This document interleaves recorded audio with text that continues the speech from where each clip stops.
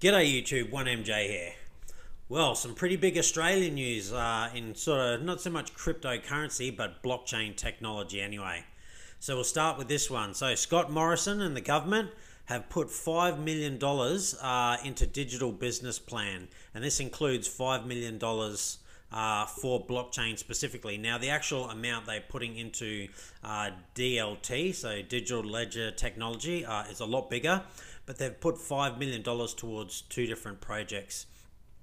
So, as we see down here, the Australian government this week unveiled its $574 million digital business plan that includes seven figure grants for distrib- distributed ledger technology, technology excuse me, initiatives. So, uh, Prime Minister Scott Morrison, ahead of next week's federal government budget, the plan outlines 4.95 million in su- support for two blockchain pilots directed at reducing business compliance costs. The plan supports Australia's economic recovery by removing outdated regulatory barriers, boosting the capability of small businesses, and backs the uptake of uh, technology across the economy. Piper Alderman partner Michael Bacina told Cointelegraph that these two projects are important to help demonstrate and unlock the value of blockchain. With blockchain adoption uh, accelerating around the world, this funding is very welcome boost to the Australian blockchain industry and our local expertise. As part of the plan, 480 million has been designated for various technological initiatives that could intersect distributed lecture ledger technologies, including $183 million towards a new digital ident- identity system and 301 million for developing a single business register, allowing businesses to quickly view, update, and maintain their business uh, data in one location. So that's some big money being put forward by the Australian government uh, towards, you know, digital ledger technology, not cryptocurrency specific, but still digital ledger technology, which cryptocurrencies are all based around. Uh, and well done on the Australian government. I was really worried that they were going to fall behind uh, this whole kind of you know move it'd be nice for australia to you know go out and buy some bitcoin i think that would be really smart the government just you know put however many million, whatever it is, you know, into some Bitcoin and just simply hold on to it. Because uh, our dollar's going down exactly like every other country's dollar. We need some sort of hard assets and things like that. Uh, and my personal opinion is Australia. It'd be good if we were one of the, one of the first governments in the world to get on board and just buy up some Bitcoin. You know, one percent, whatever that is, uh, would be a good idea. You know, a lot of people are saying these days it's good to have one to two percent of your you know wealth tied up in you know Bitcoin, then Australian government should seriously consider doing something like that. But look, I'm not a financial advisor, so I doubt they're going to listen to me, uh, and I'm not providing financial advice. It just makes sense to me uh, to get involved in this. It looks like it's the way of the future, and you know that's my personal opinion. But something I found really interesting down here was throughout 2020, the government has shown a growing interest in distributed ledger technology and blockchain applications. In September, the Select Committee on Financial Technology, FinTech and Regulatory Technology, RegTech, published an interim report with over 50 blockchain blockchain citations. Submissions to the committee reported that blockchain's potential is estimated at 175 billion annually within 5 years and 3 trillion by 2030. That's 10 years away if this is true, and of course it's just, you know, someone's estimate, and look, that means it could be a whole lot more and also could be uh, less as well, but I would say that's a fairly conservative one. That's big time money. I would love for Australia to really get on the front foot and be a leader. We're not a leader in too many things. It's not to say we're not a leader in any. We are a leader in some areas.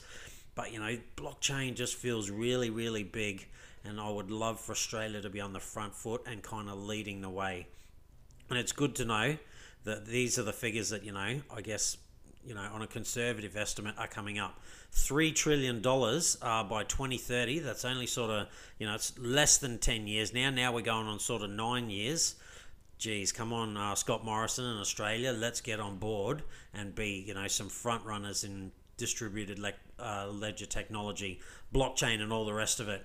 I know Power Ledger received a grant from the Australian government uh, a number of years ago, and I think it was like a million bucks or something to help them get going. And you know, Power Ledger's not doing uh, a whole lot uh, in the news at the moment. They're still operating and they're they're working, but there hasn't been any sort of major things that's come out from them. But you know, uh, Dr. Jemma Green, I'm sure she's working hard on it, uh, and so again, that's good that Australia's on the forefront of that. But another interesting story I found. So, uh, ASIC, the Australian Securities Exchange, uh, is to triple the capacity of uh, distributed ledger technology system.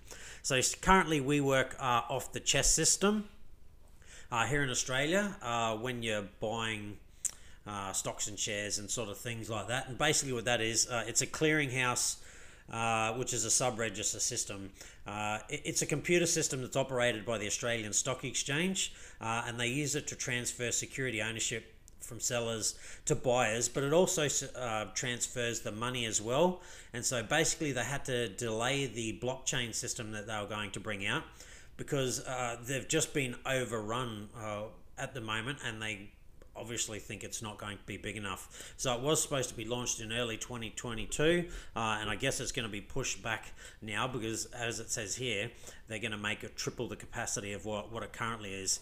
And so, again, I think this is a really encouraging sign for Australia that, you know, we are really getting on that front foot uh, with blockchain technology. But you know there, there's more to be done. And if we go back to that last article and you know there's 3 trillion dollars in blockchain technology within the next 10 years i mean if australia could you know just get some of that that would be great for them you know we need to be on the front foot. We need to be leading. We don't need to simply be following and Australia, as I said, you know, we don't lead in a lot of things. We lead in some. It's not like we don't lead in any. But we really, if we want to build our name and you know be one of the superpowers of the world, and we're a long way off that, I know. But we need to get on the front foot, and we need to you know be really progressive and you know just keep up with the latest things that are happening in the world and not simply wait for everyone else to test it out and do it and then we follow uh, later on. But well done, Australia, and good on the Australian Securities Investments Commission for getting into distributed uh, ledger technology system. Now, something else uh, I found. So, Bitcoin will replace gold as go to safe haven, says $10 billion advisory group CEO. I thought this was really uh, interesting because a lot of the CEOs of, you know, uh, you know, hedge funds and things like that, they've been, been really apprehensive about cryptocurrencies for a number of years now. You know, it was called rat poison and all sorts of stuff. And now, slowly but surely, everyone's changing their tune. And so this is interesting.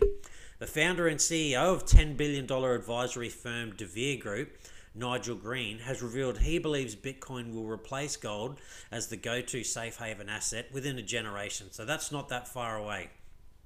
Speaking to Broadcast uh, Money FM, Green shared some of his thoughts on Bitcoin and other cryptocurrencies in an interview first spotted by Bitcoin.com. Green explained why he believes Bitcoin could potentially replace gold as the top safe haven asset. During the interview, the CEO said he thinks Bitcoin has gradually become more accepted. It definitely has. And that when we go back to basics, there's always been a system of payments in the world. Uh, even if we go back to bartering, there was always some way of people keeping score. Currently, Green said the governments are keeping score and not everyone is comfortable with that arrangement. A way of looking at cryptocurrency said is that a computer is keeping score. Exactly, because fiat money, that is just a promise from the government. They're promising you that, you know, money's worth this and all the rest of it. But these days, it's not backed by anything. Once upon a time, not anything, but it's, it's not you know, backed hard by certain assets. It's very loose, and at the moment, every government's printing more money. And look, I understand that they have to, but that means it's devalued even more. The dollars, you know, dropped 90 something percent from what it used to be worth, uh, and it's going to go to zero. That's just the way it is. All fiat systems have gone to zero, uh, and the one we have now is going to be no different. So very interesting that uh, again, I'm this CEO. I'm guessing he's he's going to be older in life. I'm going to say he's probably 50, if not 60 plus years old, and he can even see what's coming. Now, it's not going to happen overnight. Bitcoin's not just suddenly going to become, you know, the world currency tomorrow. And look, may never become the world currency, but it is going to be a major factor. Its current uh, net worth, Bitcoin in total, is already more than some countries uh, in their dollars, and it's only growing. Adoption will continue to happen, and here's something else that uh, helps sort of you know go along with that theory. Micro, microtransactions or small and quick payments with Bitcoin can be made via Lightning Network. Well, they've been talking about this for a while, and this is really what it's going to fall down on. You know, if Bitcoin is to be truly become, you know, the world reserve currency, it needs to be a whole lot better than what it is. Now, don't get me wrong, it's still good as a store of value, but you can't send it very fast at times, you know, depending. Sometimes you can, sometimes you can't. And the fees, a lot like Ethereum, they're astronomical when it gets overloaded. We need to have scaling solutions for Bitcoin. Uh, you know, it's much the same as Ethereum. If Ethereum's, you know, really to kind of take off and scale, uh, and it is slowly but surely doing that, then that's exactly what it needs. It needs Ethereum 2.0 to come out and all those layer 2 networks and sharding and all the rest of it.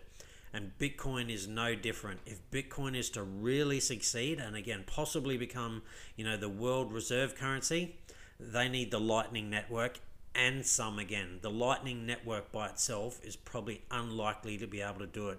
You know, you need to be able to send Bitcoin for a fraction of a cent and it needs to be able to be processed, you know, in a matter of sort of seconds. Now, don't get me wrong, Bitcoin can do that except for when it gets overloaded. When the network gets overloaded, it's anything but fast. It can take half an hour or more, uh, and it can cost you quite a lot of money to send it.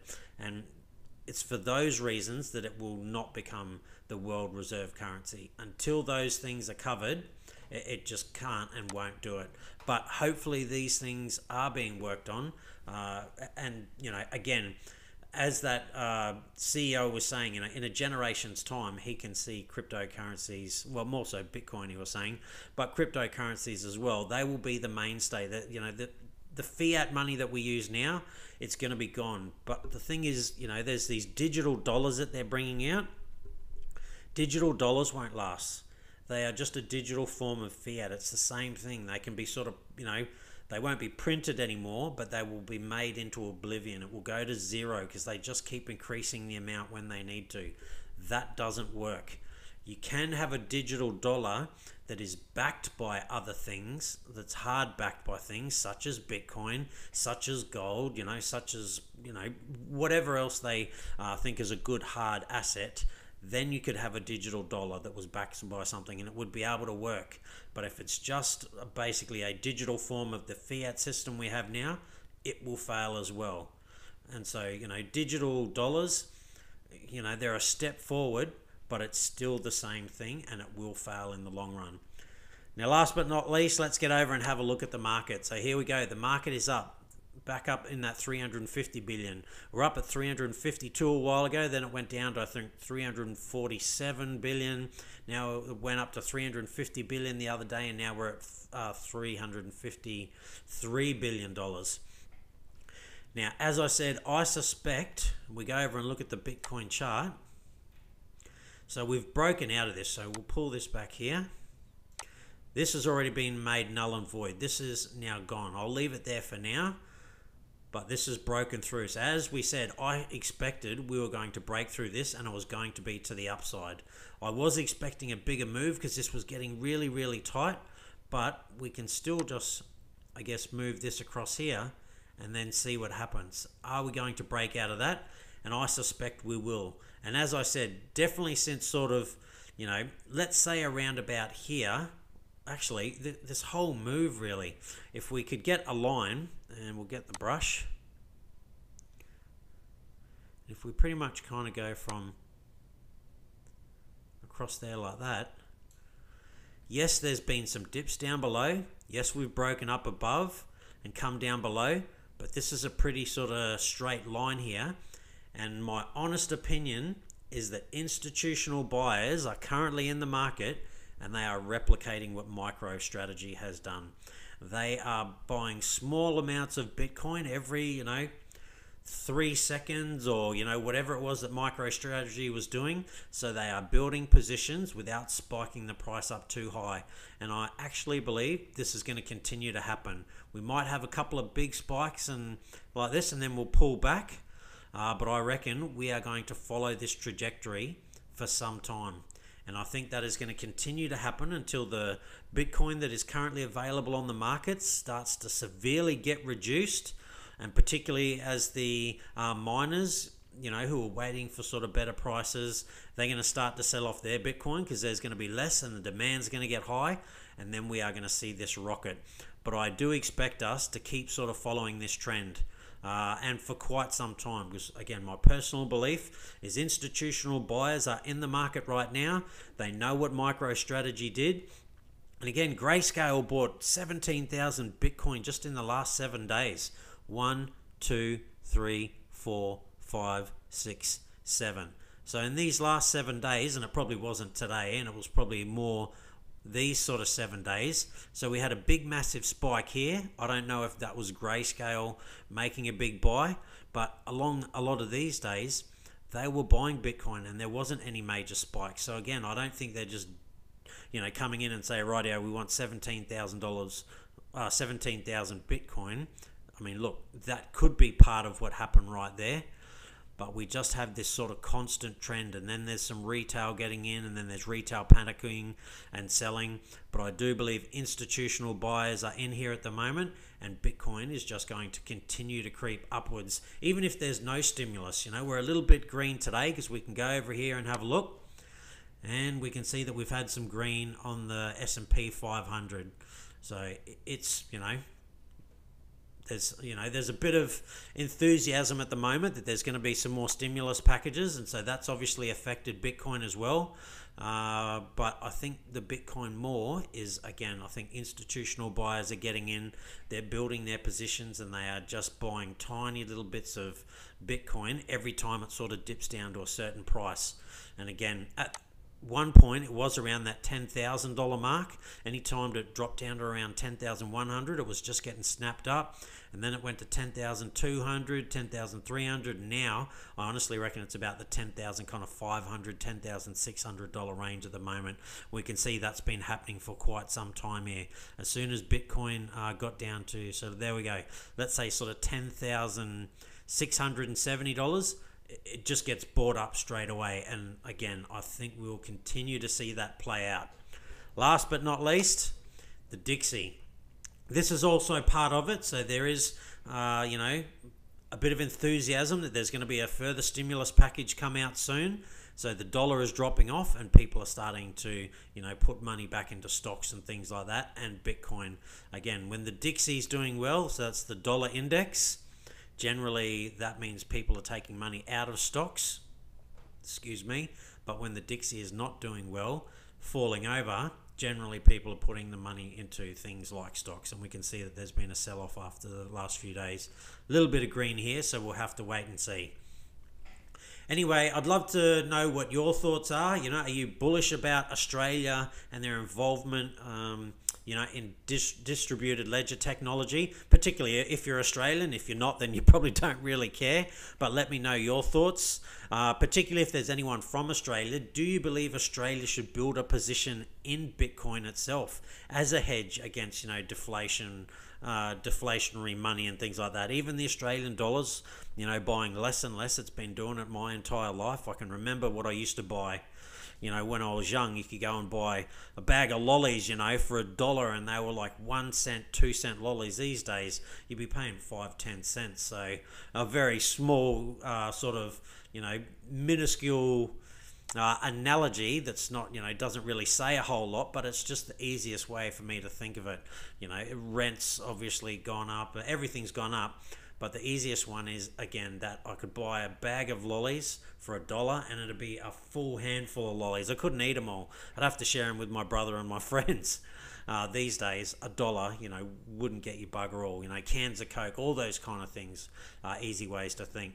So again, if you're in Australia, let me know if you're uh, bullish about Australia's, you know, push into uh, DLT if you think Australia should buy some Bitcoin, build a position, you know, be one of the first governments in the world to come out and publicly announce that they have built a position in Bitcoin, I think, you know, that would be great.